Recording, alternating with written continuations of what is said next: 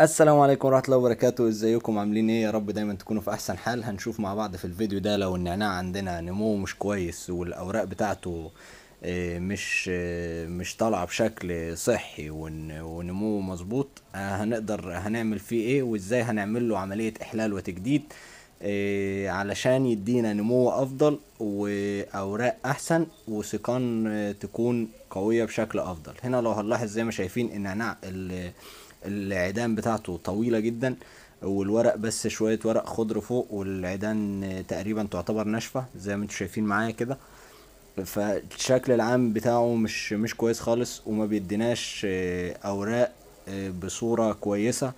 والأوراق حتى اللي اللي بي بيطلعها ما مش كافية خالص لحجم النمو بتاعه المفروض يدينا أوراق أفضل من كده بكتير. أول حاجة هنحتاجها إن إحنا نقص كل كل النعناع اللي موجود في القصيص عندنا. بالطريقة دي زي ما إحنا شايفين كده كل العيدان الطويلة ال- الناشفة بس اللي هي فيها شوية نمو خضري فوق وكام ورقة خضر بس فوق والباقي عيدان بنية ناشفة هنقص كل كل العيدان دي وهنشيلها خالص هنسيب بس ال ال ال العيدان المنبتة الصغيرة اللي لسه طالعة من تحت دي وال- والجذور اللي موجودة في التربة. زي ما إحنا شايفين كده بالظبط كل الأجزاء الناشفة حتى اللي ظاهرة من الجذور ال- الناشفة في في القصيص هنشيلها لأن في بعض الجذور بدأت تظهر على وش على وش التربة في القصيص فاحنا هنشيل كل الأجزاء الناشفة دي. يا ريت ما تنسوش like للفيديو واشتراك في القناة لو أول مرة بتشوفنا ويا ريت تعمل share للفيديو.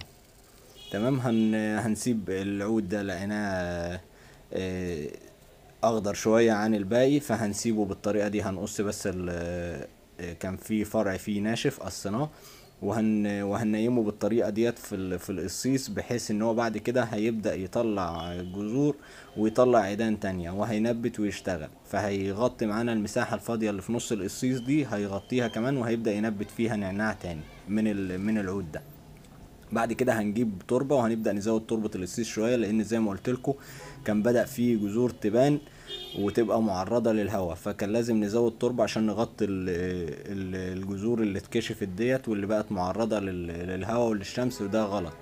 فالمفروض إن هي تبقى متغطية تماما. عشان تبدأ تدينا أفرع جديدة وتدينا نموات جديدة من. من النعناع. الجذور دي كل ما ما تغطيها هتدينا نعناع جديد هتدينا نباتات جديدة من النعناع. تمام هنغطيها بتربة التربة المتاحة برضو عندك. لو عندك تربة صناعية peat moss آه، كومبوست آه، آه، vermiculite أي تربة موجودة عندك ماشي مفيش حاجة من دي خالص من أنواع التربة الصناعية. ممكن تربة زراعية عادي من أي أرض موجودة آه، دي مفيش فيها مشكلة. أي تربة موجودة عندك هتضيف منها. بعد كده هنجيب ال- السماد اللي عاملينه مع بعض في, في فيديو قبل كده اللي هو الخميرة وال- والعسل واسبرين والسلسيك أسيد. هن هنجيب السماد ده زي اللي إحنا عاملينه مع بعض في فيديو قبل كده بالطريقة والشرح. لو حابب تشوفه هسيب لك الرابط بتاعه في نهاية الفيديو ده. ويا ريت تشوفه عشان تعرف طريقة عمل ال- المحلول المغذي ده بالطريقة الصحيحة.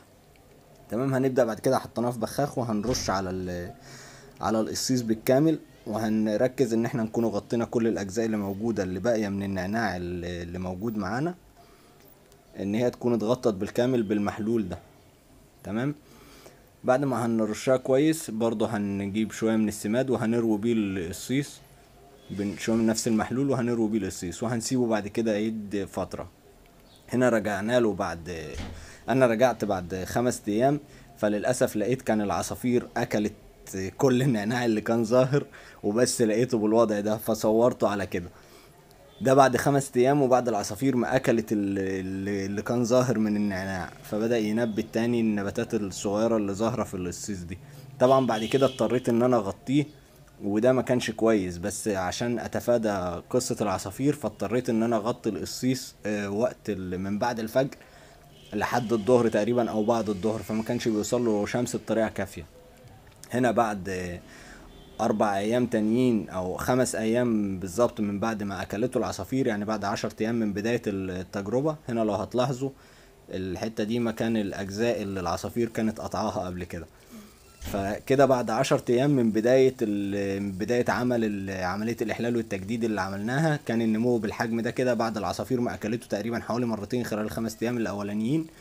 فبقى الحجم بالشكل ده كده. ولو نلاحظ إن هو ال- العيدان بتاعته رفيعة شوية ده لأن هو مش واخد ضوء بشكل كافي والشمس ما بتوصلوش بشكل كافي وده عشان مشكلة العصافير وأنا ما كنتش موجود باستمرار فما كنتش قادر أسيطر على القصة دي غير إن أنا أغطيه بس قبل ما أمشي وبرجع له الظهر أو بعد الظهر كمان أوقات وأرجع أكشفه للشمس. فكانش بيلحق ياخد شمس كفاية.